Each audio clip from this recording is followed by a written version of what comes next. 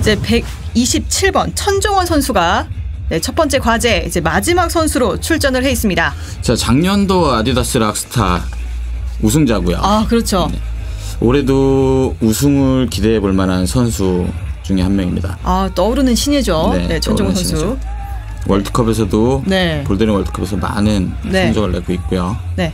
한국 선수들이 볼더링 월드컵에서 성적을 낸 적이 아까 바로 네. 전에 나왔던 네. 손성원 선수 네. 뿐이 없었는데 지금 천정원 선수가 그 뒤를 이어서 네. 계속적인 성적을 좋은 성적을 내고 있습니다. 네. 천종원 선수 이제 어 벌써 두 번째 시도인데 네, 첫 번째 시도에서 조금 빨리 떨어졌어요. 자기가 생각했던 동작하고 조금 달라서 첫 번째 네. 시도는 포기를 하고 진행한 것 같습니다. 네.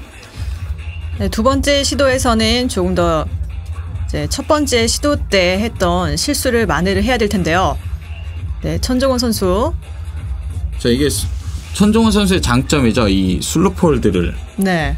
누구보단 잘 잡을 수 있다는. 어, 이번 루트에서 그러면 아주 강점을 가지고 있는 선수라고 볼 수 있겠네요. 어 그럴 수 있죠. 네. 저희 지금 이 아디다스 락스타 대회에 세팅했던 세트들이 전부 다 이 sloper hold 위주에 네. 대한 볼륨 홀드에 대한 걸로 세팅을 했기 때문에 지금 천정원 선수가 강점을 보일 수 있는 점 중에 하나죠. 네, 천종원 선수 이제 두 번째 시도를 하고 있는데 어, 완등홀드.